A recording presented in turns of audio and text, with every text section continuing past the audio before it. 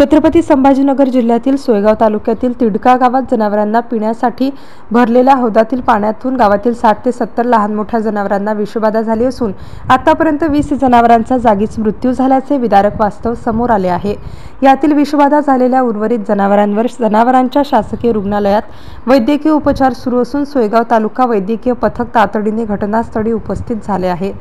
कुणातरी अज्ञात व्यक्तीने पाण्याने भरलेल्या हौदात विष मिश्रण केल्याची गावात चर्चा असून आतापर्यंत यात वीस जनावरांचा मृत्यू झाल्याने पशुमालकांमध्ये भीतीचे वातावरण निर्माण झाले आहे.